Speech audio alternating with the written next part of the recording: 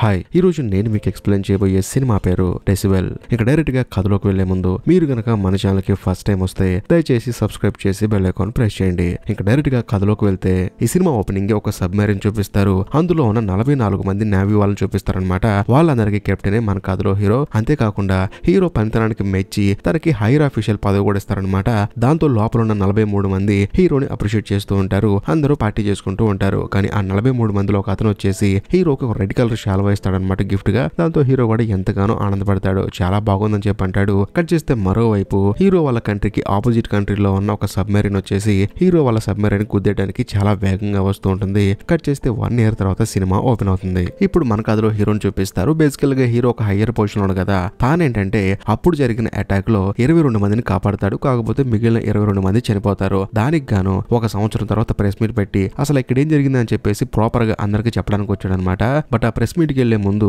Hero ఏం చేస్తారంటే తన కూతురుకు మెసేజ్ పెడతాడు ఈ రోజు నాన్న రావడం కొంచెం లేట్ అవుతుందమ్మా కాబట్టి ప్రశాంతంగా నువ్వు అమ్మతో బయటకు వెళ్ళి హ్యాపీగా తిరిగేసరా అని చెప్పేసి మెసేజ్ పెడతాడు. ఆ తర్వాత ప్రెస్ మీట్కి వెళ్తున్నప్పుడు తనకి ఫోన్ వస్తుందన్నమాట. ఎవరా అని చెప్పేసి ఫోన్ మాట్లాడుతున్నప్పుడు హాయ్ ఆఫీసర్ ఎలా ఉన్నారని చెప్పేసి అవతల వ్యక్తి మాట్లాడుతూ ఉంటాడు. కానీ హీరోకి అతను ఎవరో తెలియదు. అతను ఏమంటాడంటే కరెక్ట్గా సంవత్సరం క్రితం ఇరవై రెండు మందిని కాపాడావు కదా. ఇప్పుడు కూడా నువ్వు జనాన్ని అలా కాపాడతావా? అయితే కాపాడని చెప్పేసి ఒక ఇన్ఫర్మేషన్ చెప్తాడు. పిల్లలు ఆడుకునే స్కూల్ గ్రౌండ్లో బాంబు పెట్టాను. వెళ్ళి పిల్లల్ని కాపాడని చెప్పి అనడంతో హీరో ఏమనుకుంటాడంటే ఈడెవడో ప్రాంక్ కాల్ చేశాడని చెప్పేసి ఫోన్ కట్ చేసి ఆ ప్రెస్ మీట్కి వెళ్తాడు. వెళ్ళిన తర్వాత అక్కడ రకరకాల క్వశ్చన్లు అడుగుతూ ఉంటారనమాట కాకపోతే హీరో మొహంలో చూస్తే మనకు అర్థమైపోతుంది. మొత్తానికి ఏదో జరిగిందని చెప్పేసి. కానీ హీరో మాత్రం ఎలాగోలాగా అందరికీ సమాధానం చెప్పి అక్కడ నుంచి బయటకు వచ్చేస్తాడు. కట్ చేస్తే ఇప్పుడు ఇందాక ఒకటి ఫోన్ చేశాడు కదా హీరోకి నేను బాంబు పెట్టానని చెప్పేసి వాడు చెప్పింది నిజమే అనమాట చిన్నపిల్లలు ఆడుకునే పార్క్లో బాంబు పెడతాడు. అది కూడా ఒక బొమ్మలో పెడతాడు. మరి ముఖ్యంగా హీరో టీమ్లో ఇరవై ఒక్క మంది ఉన్నారు కదా వాళ్ళలో ఒక అతని ఇంటికి ఆ కిల్లర్ గాడు ఏంటంటే బాంబును పంపిస్తాడనమాట హీరో వాళ్ళ టీం అతనికి ఏంటంటే అది బాంబు అని చెప్పి అర్థమైపోతుంది. దాన్ని ఓపెన్ చేసి చూసి షాక్ అయిపోతాడు.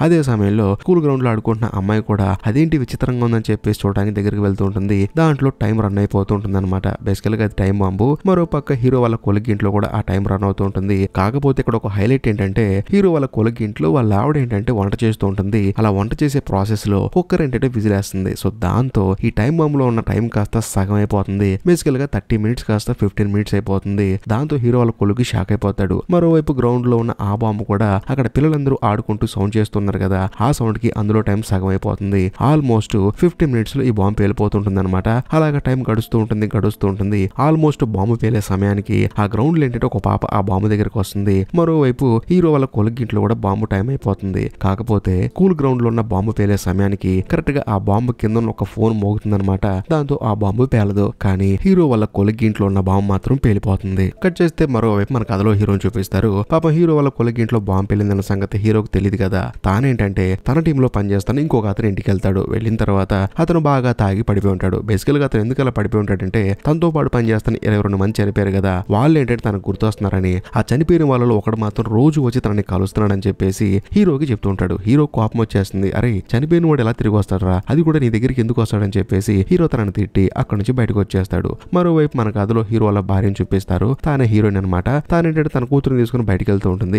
అలా వెళ్తున్నప్పుడు సడన్గా తనకి ఫోన్ వస్తుంది. ఇలా పార్క్లో బాంబు పెట్టారండి అర్జెంట్గా రమ్మండి అని చెప్పి అనడంతో హీరోయిన్ కూడా సరే అని చెప్పేసి తన కూతురు ఇంటి దగ్గర డ్రాప్ చేసి తాను బాంబు దగ్గరికి బయలుదేరుతుంది. బేసికల్గా హీరోయిన్ ఒక బాంబు స్క్వాడ్ అనమాట అందుకని ఆ బాంబు తీయడానికి అక్కడికి బయలుదేరి వెళ్తుంది. మరోవైపు మన కథలో హీరోకి ఏంటంటే ఆ కిల్లర్ గాడు ఫోన్ చేస్తాడు. ఫోన్ చేసి నేను చెప్పింది నువ్వు నమ్మలేదు. బాంబు పెట్టానన్నాను అది కూడా వినలేదు. చూసావా? ఇప్పుడు మీ ఓడు చనిపోయాడని చెప్పి అనడంతో హీరో స్టన్ అయిపోతాడు. పక్కన ఉన్న టీవీలో వార్తలు కూడా చూస్తాడు. హీరోకి ఏం అర్థం కదనమాట అదే సమయంలో హీరోకి చీఫ్ సెక్రటరీ ఫోన్ చేస్తాడు. ఫోన్ చేసి ఒక బాంబు పేలింది దాని గురించి నీతో మాట్లాడాలి వస్తావని చెప్పడంతో చెప్పి అనడంతో హీరో కూడా సరే అని చెప్పేసి అంటూ ఉంటాడు. అదే సమయానికి మళ్ళీ ఆ కిల్లర్ గాడు ఫోన్ చేస్తాడు. ఈ సెక్రటరీ ఫోన్ కట్ చేసి ఆ కిల్లర్ గాడు ఫోన్ లిఫ్ట్ చేసి మాట్లాడుతూ ఉంటాడు. అప్పుడు ఆ కిల్లర్ గాడు ఏమంటాడంటే ఈ రోజు మొత్తం నీతో నేను ఫుట్బాల్ ఆడుకుంటాను. కాబట్టి దయచేసి నేను చెప్పింది విను. నేను ఎక్కడెక్కడ బాంబులు పెడుతున్నానో అవన్నీ నీకు చెప్తూ ఉంటాను. నువ్వు వెళ్ళి ఆ బాంబులు పేలకుండా ఆపుతూ ఉండని చెప్పి అనడంతో హీరోకి ఏం అర్థం కాదు. ఆ తర్వాత కిల్లర్ ఏమంటాడంటే నేను ఒక యాప్ పంపిస్తాను. ఆ యాప్ కనుక నువ్వు ఇన్స్టాల్ చేసుకున్నావు అనుకో కేవలం నా ఫోన్ మాత్రమే వస్తుంది నీ ఫోన్ కని చెప్పి అనడంతో హీరో కూడా సరే అని చెప్పేసి ఆ యాప్ని ఇన్స్టాల్ చేసుకుంటాడు. కట్ చేస్తే కథ ఇప్పుడు ఫ్లాష్ బ్యాక్ వెళ్తుంది. బేసికల్గా మన కథలో హీరో ఉన్న సబ్మెరీన్ ఉంది కదా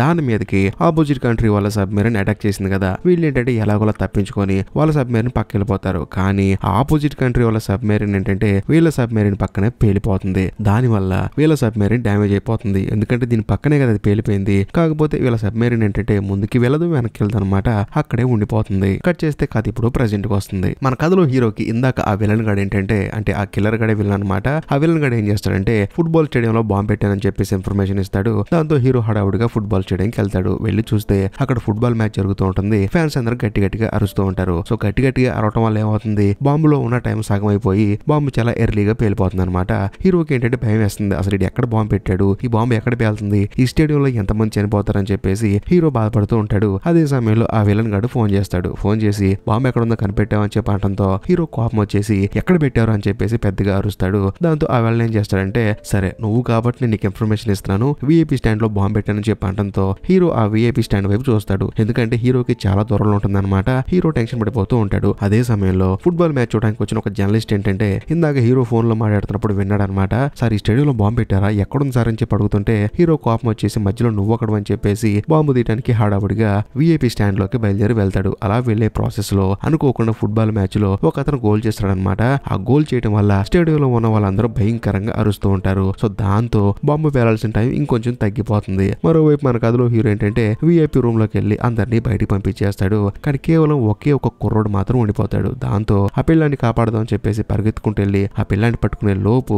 అక్కడ బాంబు వేలాల్సిన సమయం కేవలం ఐదు సెకండ్లకు వచ్చేస్తుంది అనమాట ఎలాగోలా ఆ పిల్లాన్ని పట్టుకుని పరిగెడుతున్నప్పుడు ఆ బాంబు పేలిపోతుంది. కాకపోతే ఎవరు చనిపోరు అనమాట అదే సమయంలో ఆ విలన్ హీరోకి ఫోన్ చేసి బాంబును డిఫ్యూజ్ చేయమంటే చేయలేదు కానీ మొత్తానికి ఎవరికి ఏం కాకుండా కాపాడావు. నువ్వు గ్రేట్ అయ్యా అని చెప్పేసి సరే నేను ఇంకో చోట బాంబు పెట్టాను. బాంబు ఎక్కడ పెట్టాను? నీకు ఫోటో పెడతాను చూడని చెప్పేసి హీరోకి ఫోటో పంపిస్తాడు. దాంతో వెంటనే హీరో ఫోటో చూస్తాడు. ఆ బాంబు పెట్టింది వాటర్ వరల్డ్ అనమాట సరే ఇక్కడ నుంచి ఆ వాటర్ వరల్డ్కి ఎలా వెళ్ళాలని చెప్పేసి హీరో ఆలోచిస్తున్నప్పుడు తన పక్కన ఆ రిపోర్ట్ ఉంటాడు అనమాట జర్నలిస్ట్ తానేంటంటే ఖాళీగా నుంచొని చూస్తూ ఉంటాడు. వెంటనే హీరో ఏం చేస్తారంటే నీ దగ్గర కారు ఉందని చెప్పి అడుగుతాడు. నా దగ్గర ఉందని చెప్పి అంటంతో సరే రా నీ కారులో పోతామని చెప్పేసి ఇద్దరు కారులో వాటర్ వరల్డ్కి బయలుదేరి వెళ్తూ ఉంటారు. అలా వెళ్ళే దారిలో హీరో ఏం చేస్తారంటే వాటర్ వరల్డ్కి ఫోన్ చేసి నేను ఇలా పోలీస్ ఆఫీసర్ మాట్లాడుతున్నాను. స్విమ్మింగ్ పూల్లో ఎవరిని దూకనివ్వమాకండి. అందరినీ బయటే ఉంచండి అని చెప్పేసి ముందుగానే వార్నింగ్ ఇవ్వటం వల్ల లోపల నీళ్ళలోకి ఎవరు దూక్కుండా ఉంటారు అదే సమయంలో హీరో కూడా లోపలికి వెళ్ళి అంతా చెక్ చేస్తుంటారు అనమాట కరెక్ట్గా అదే సమయానికి హీరో ఫోన్కి ఆ విలన్ గడ ఫోటో పంపిస్తాడు. అది ఎవరిదో కాదు హీరో కూతురుది అనమాట బేసికల్గా హీరో వాళ్ళ భార్య అంటే హీరోయిన్ ఏం చేసింది? తన కూతురు ఇంట్లో ఉండమని చెప్పేసి తాను ఏంటంటే బాంబును డిఫ్యూజ్ చేయడానికి గ్రౌండ్కి వెళ్ళింది కదా. ఈ గ్యాప్లో విలన్ గడ ఏంటంటే హీరో కూతుర్ని కిడ్నాప్ చేశాడు. వెంటనే హీరో ఏమంటాడంటే ఆ విలన్ గడ్ నా కూతుర్ని కిడ్నాప్ చేశాడు కదా ఆ కార్ ఇందాక పార్కింగ్లో చూశానని చెప్పేసి ఈ జర్నలిస్ట్ని అక్కడికి పంపిస్తాడు. మరోవైపు మన కథలో హీరోయిన్ ఏంటంటే ఆ గ్రౌండ్లో ఉన్న బాంబును డిఫ్యూజ్ చేద్దాం చెప్పేసి టోటల్ బాంబ్ స్క్వాడ్ డ్రెస్ చేసుకొని అక్కడికి వెళ్తుందన్నమాట.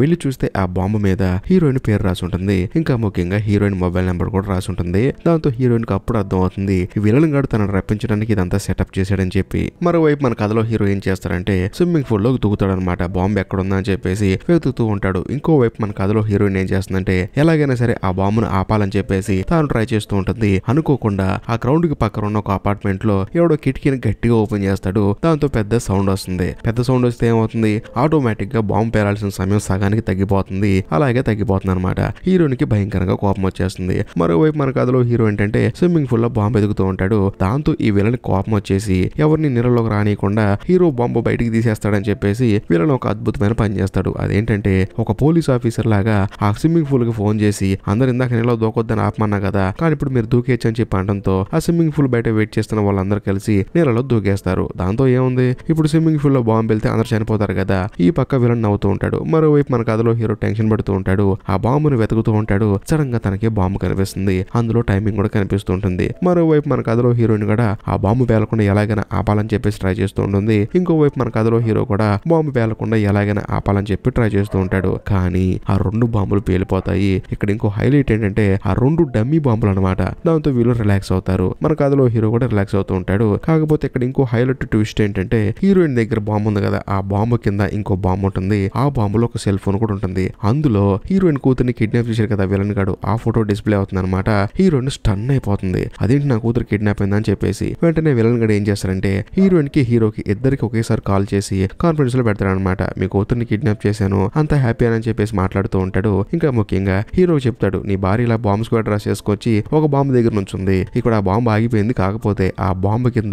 ఇంకో ఒరిజినల్ బాంబు ఉంది. దాన్ని నేను పేల్చేస్తా అని చెప్పి అనడంతో హీరో భయంతో వణికిపోతూ ఉంటాడు. వెంటనే తన భార్య ఎక్కడుందా కనుక్కొని అక్కడికి తాను బయలుదేరి వస్తూ ఉంటాడు. మరోవైపు మన కథలో హీరోయిన్ కూడా అక్కడి నుంచి పారిపోదాం చూస్తుంది. కానీ ఆ విలన్ గడు ఏమంటాడంటే నువ్వు గనక ఒక్కడుగు వెనక్కేసావనుకో ఇక్కడ నీ కూతుర్ని చెంపాదులు పడేస్తా అని చెప్పేసి బెదిరిస్తాడు. దాంతో హీరోయిన్ ఏం చేస్తుందంటే నేను చనిపోయినా పర్లేదు నా కూతురు నేను చేయొద్దని చెప్పేసి మొహానికి ఆ బాంబ్ స్క్వాడ్ డ్రెస్ చేసుకుంటుంది ఉంటుంది కొంత సమయానికి ఆ బాంబు పేలిపోతుంది. హీరోయిన్ గాల్లోకి ఎగురుతుంది అనమాట ఇదంతా ఫోన్లో వింటున్న హీరోకి మైండ్ బ్లాక్ అయిపోతుంది. మొత్తానికి ఏదో జరిగిందని చెప్పేసి హీరోయిన్ వాళ్ళ స్టాఫ్కి ఫోన్ చేస్తాడు. ఫోన్ చేస్తే వాళ్ళు జరిగింది మొత్తం చెప్తారు. మేడం గారికి ఏం కాలేదు కానీ కొంచెం సీరియస్గా ఉంది. అందుకని హాస్పిటల్ జాయిన్ చేసామని చెప్పి అనడంతో హీరో కూడా డైరెక్ట్గా హాస్పిటల్గా బయలుదేరతాడు. మరోవైపు చీఫ్ సెక్రటరీ ఉన్న కదా హీరో వాళ్ళ చీఫ్ సెక్రటరీ. ఆయనకి ఏంటంటే డౌట్ వస్తుంది అనమాట హీరో వాళ్ళ ఫ్యామిలీ ఎక్కడుంటే అక్కడ బాంబులు పేలుతున్నాయి. కాకపోతే హీరో వెళ్ళిన చోట బాంబులు పేలట్లేదు హీరోకి ఏం కావట్లేదు. కానీ హీరో భార్య వెళ్ళిన చోట బాంబులు పేలినాయి అంటే ఈ విలన్ గాడు హీరో భార్యని చంపాలనుకున్నాడు. హీరో భార్య చనిపోతే హీరో బాధపడతాడు. ఆ విలన్కి హీరో బాధ కావాలి. కాకపోతే ఇప్పుడు హీరో భార్య చనిపోలేదు కదా. దాన్ని బట్టి ఈ సెక్రటరీకి ఏం అర్థం అవుతుందంటే ఆ కిల్లర్ గాడు ఖచ్చితంగా హీరో భార్యని జాయిన్ చేసిన హాస్పిటల్కి వస్తాడని చెప్పేసి ఈ చీఫ్ సెక్రటరీ గీస్ కొడతాడు. యాజ్ ఇట్ ఈస్గా. ఆయన గీస్ కొట్టినట్టే ఆ కిల్లర్ గాడు డైరెక్ట్గా హాస్పిటల్కి వస్తాడు. మరోవైపు మన కథలో హీరోని చూపిస్తారనమాట హీరో ఏం చేస్తారంటే జర్నలిస్ట్ తీసుకొని తన ఫ్రెండ్ తాగుబోతో ఒక అతను ఉన్నాడు కదా. డైరెక్ట్గా అతని దగ్గరికి వెళ్తాడు. బేసికల్గా హీరోకి ఒక డౌట్ వస్తుందన్నమాట. ఈ తాగుబోతుడు ఎప్పుడు చూసినా చచ్చిపోయినాడు బతికొచ్చాడు చచ్చిపోయినాడు బతికొచ్చాడు అని చెప్పేసి అంటున్నాడు కదా. ఒక్కవేళ వాడిలాగే ఉన్న వాళ్ళన్నీ వచ్చాడు అని చెప్పేసి వెళ్ళి ఆ తాగుబోతుని అడుగుతాడు. అప్పుడు ఆ తాగుబోతుడు నిజం చెప్తాడు. అవును వాళ్ళన్నీ వచ్చి నన్ను మీట్ అయి వెళ్తూ ఉన్నాడని చెప్పేసి అనడంతో హీరోకి ప్రాపర్గా మొత్తం విషయం స్ట్రైక్ అయిపోతుంది. దాంతో ఆ చనిపోయిన వాళ్ళ అన్నని మీట్ అంటాకి వెళ్తాడు. అతనే విలన్ అనమాట ఇప్పుడు. విలన్ అడ్రస్ ఏంటంటే హీరోకి తెలుసు ఎక్కడ ఉంటాడని చెప్పేసి. డైరెక్ట్గా తన రూమ్లోకి వెళ్తే ఇప్పుడు వరకు ఎక్కడెక్కడైతే పేలిన బాంబులు ఉన్నాయో ఆ బాంబులని విలన్ తన ఇంట్లోనే తయారు చేశాడు. దాంతో హీరోకి ప్రాపర్గా అర్థమైపోతుంది విలన్ ఎవరా అని చెప్పేసి. కరెక్ట్గా అదే సమయంలో హాస్పిటల్లో ఉన్న ఆ విలన్ ఏంటంటే హీరోకి ఫోన్ చేస్తాడు. వెంటనే హీరో తెలుసు కదా విలను అరే అప్పుడు ఏదో జరిగిన తప్పు తప్పే ఆ తప్పు నేను ఒప్పుకుంటున్నాను. దయచేసి మన ఇద్దరం కూర్చొని మాట్లాడుకుందారా. ఇలా వద్దురా అందరూ చనిపోతున్నారా అని చెప్పంటే వెంటనే విలన్ ఏమంటాడంటే సరే మన ఇద్దరిని కలిసి ఒకసారి ప్రశాంతంగా మాట్లాడుకుందాం అని చెప్పేసి హీరోకి ఒక హోటల్ అడ్రస్ చెప్తాడు అక్కడికి రమ్మంటాడు. కానీ ఇక్కడ ఇంకో హైలైట్ ఏంటంటే ఆ విలన్ గాడు హీరోకి తెలియకుండా హాస్పిటల్లో ఉన్న హీరో భార్యని కిడ్నాప్ చేసి సైలెంట్గా అక్కడ నుంచి తీసుకెళ్ళిపోతాడు మరో పక్క మన హీరో కూడా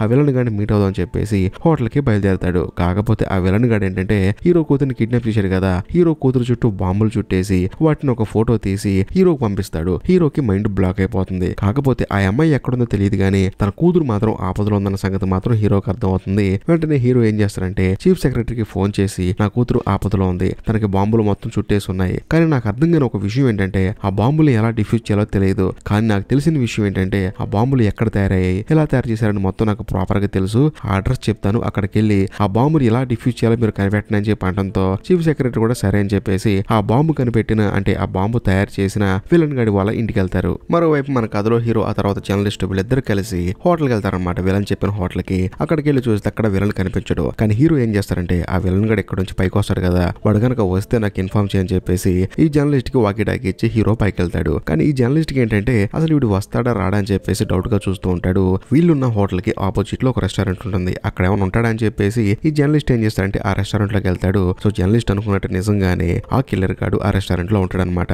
వాడిని చూసిన తర్వాత క్యాజువల్గా ఉందని చెప్పేసి ట్రై చేస్తాడు కానీ కానీ మనోడు మాత్రం హీరో పక్కన తిరుగుతున్న జర్నలిస్ట్ ఈడే అని చెప్పేసి డైరెక్ట్గా ఆ కిల్లర్ ఏం చేస్తాడంటే ఈ జర్నలిస్ట్ చేతిలో ఒక కప్పు పెడతాడు. కానీ అది బాంబు అనమాట బాంబు ఏంటంటే సౌండ్ చేస్తే పేలిపోద్ది కదా. ఈ జర్నలిస్ట్ ఏంటంటే భయపడిపోతూ ఉంటాడు. ఎక్కడ ఈ బాంబు పేలుతుందా చెప్పేసి. కానీ ఆ విలన్ గడు మాత్రం అక్కడ నుంచి బయటకు వెళ్ళిపోతాడు. అదే సమయంలో ఒక నలుగురు అమ్మాయిలు మాత్రం నవ్వుకుంటూ డోర్ ఓపెన్ చేసి లోపలికి వస్తారు. దాంతో సౌండ్ వచ్చేస్తుంది అనమాట కానీ ఈ జర్నలిస్ట్కి భయం వేసి కింద పడుకుంటాడు. అప్పుడే తనకు తెలిసే విషయం ఏంటంటే అది డమ్మీ బాంబ్ అని చెప్పేసి. దాంతో ఈ జర్నలిస్ట్ అప్పుడే ఊపిరి పీల్చుకుంటాడు. అదే సమయంలో హీరో కూతురు ఆ రెస్టారెంట్లో కనిపిస్తుంది అనమాట తనకి. కాకపోతే చుట్టూ బాంబులు చుట్టేసి ఉంటాయి బట్ ఈ విషయం మన కథలో హీరోకి చెప్దాం అని చెప్పేసి జర్నలిస్ట్ ట్రై చేస్తూ ఉంటాడు. కాకపోతే హోటల్లో ఉన్న మన కథలో హీరోకి ఏంటంటే చీఫ్ సెక్రటరీ ఫోన్ చేస్తాడనమాట ఎందుకంటే ఈ బాంబు తయారు చేసిన విలన్ గడి ఇంటికి వెళ్తారనమాట వెళ్ళిన తర్వాత నీ కూతురు దగ్గర ఉన్న బాంబును డిఫ్యూజ్ చేయాలంటే అలాంటి బాంబు ఇంకో చోట ఉందన్నమాట. ఆ బాంబుని నీ కూతురు దగ్గరికి తీసుకురావాలి. దగ్గరికి తీసుకొస్తే మాత్రం ఆ బాంబు అస్సలు పేలదు. మనం ఏం చేయాల్సిన అవసరం లేదని చెప్పి అనడంతో హీరో ఆలోచిస్తూ ఉంటాడు. కరెక్ట్గా అదే సమయానికి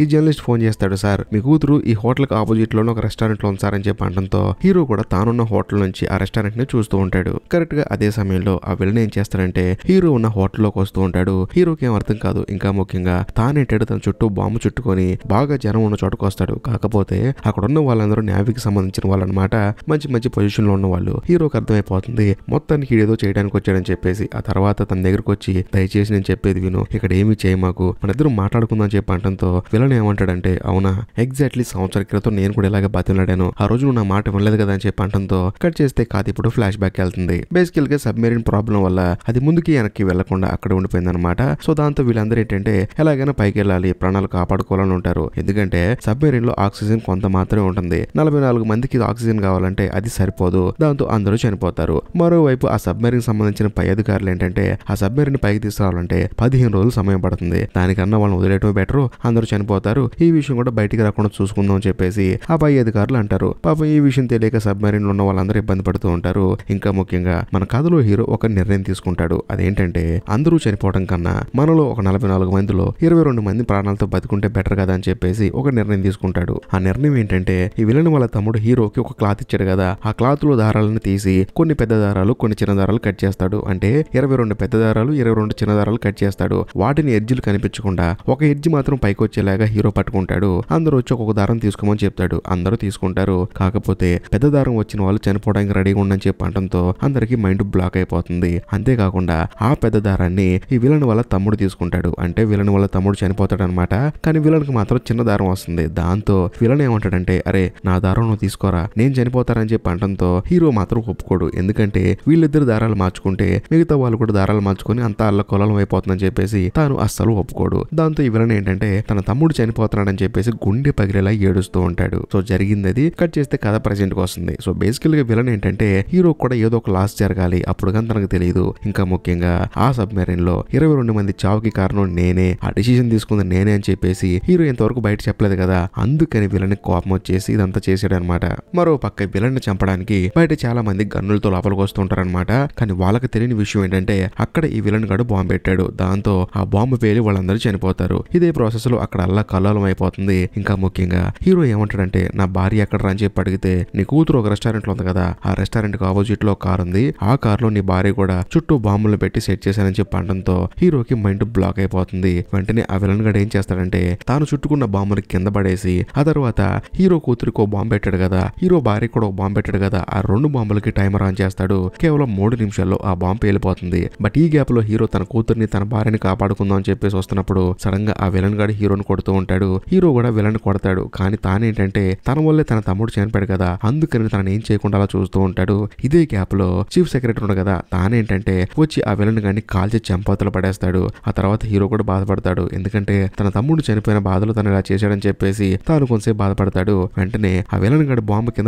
పడేశాడు కదా ఆ బాంబుని మన కథలో హీరో తాను తగిలించుకొని కిందకి నడుచుకుంటూ వెళ్తే టైం పడుతుందని చెప్పేసి పైన ఒక క్లాత్ ఉంటుందన్నమాట బ్యానర్ లాంటిది. దాన్ని పట్టుకొని డైరెక్ట్గా కిందకు దూకేస్తాడు. తాను వెళ్ళి కింద ఫ్లోర్లో పడతాడు. అలా ఒక్కొక్క ఫ్లోర్ దూక్కుంటూ ట్వంటీ ఫైవ్ సెకండ్స్లో కిందకు వచ్చేస్తాడనమాట వచ్చిన తర్వాత తన భార్య ఉంది కదా కారు ఆ కార్ దగ్గరికి వెళ్ళి తన భార్య ఉన్న కారులో ఎక్కి ఆ కారును స్టార్ట్ చేసుకొని డైరెక్ట్గా తన కూతురు ఒక రెస్టారెంట్లో ఉంది కదా ఆ రెస్టారెంట్లో కారు పాని చేస్తూ ఉంటాడు. టైం మాత్రం దగ్గర పడుతూ ఉంటుంది. ఎగ్జాక్ట్లీ ఫైవ్ సెకండ్స్ ఉన్నప్పుడు హీరో తన కారుని వేగంగా తీసుకెళ్ళడం వల్ల మూడు సెకండ్ల ముందుగానే ఆ కారు వాళ్ళ దగ్గరికి వెళ్తుంది. అంటే తన కూతురు దగ్గరికి వెళ్తుంది. సో తన దగ్గర ఉన్న బాంబు తన భార్య దగ్గర ఉన్న బాంబు తన కూతురు దగ్గర ఉన్న బాంబు అన్ని పక్క పక్కనే ఉండటం వల్ల అవి పేలకుండా అలాగే టైం ఫ్రీజ్ అయిపోతుంది. దాంతో వీళ్ళ ముగ్గురు సేఫ్ అయిపోతారు. కట్ చేస్తే కొన్ని రోజుల తర్వాత హీరో ఒక పెద్ద ప్రెస్ మీట్ పెట్టి ఆ సబ్మెరీన్లో ఏం జరిగింది అక్కడ జరిగిన విషయాలు ఎవరు బయటకు చెప్పకూడదు అన్నారు చెప్తే నీ ఉద్యోగం తీసేస్తామని చెప్పేసి నన్ను ఎవరు బెదిరించారు ఇవన్నీ ప్రాపర్గా మీడియాకి చెప్తూ ఉంటాడు. కట్ చేస్తే కథ మళ్ళీ ఫ్లాష్ బ్యాక్ వెళ్తుంది. బేసికల్గా హీరో నలభై నాలుగు రూపాయలు కట్ చేశాడు కదా చిన్న చిన్న దారాలు. అవన్నీ అయిపోయిన తర్వాత